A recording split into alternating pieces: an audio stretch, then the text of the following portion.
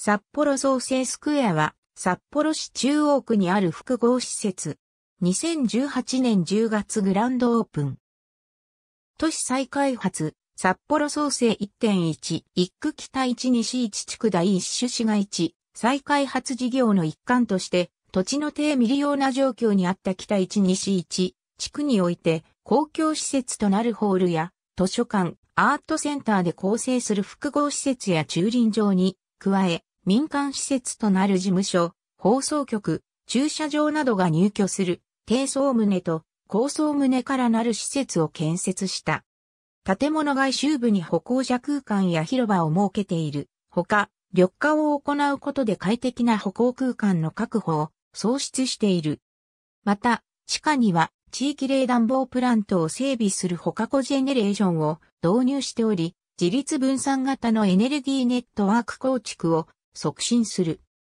札幌創生スクエアという名称は北一条西一丁目街区全体を指し、オフィスや放送局等の民間施設、札幌市民交流プラザなどの公共施設の総称である。この名称は公募によって決定したもので、札幌の発展の起点となった創生川沿いに位置する正方形の街区という当施設の特性を表しているとともに、創生1.1一区の名で推進してきたエリアのイメージを継承。頭文字に3つの S が並び、わかりやすく覚えやすい、施設がもたらす、新時代を想起させる名称であるという理由から採用された。なお、創生側の漢字表記を流用して、札幌創生スクエアと表記すると誤記となるので注意。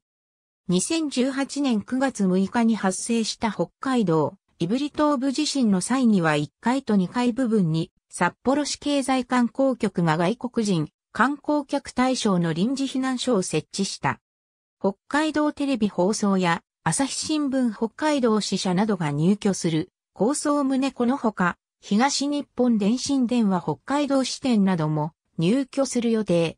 創生川2北一条岩来通り沿いに位置しており、札幌市役所、札幌市民ホール、北海道経済センター、創生川公園に隣接している。ありがとうございます。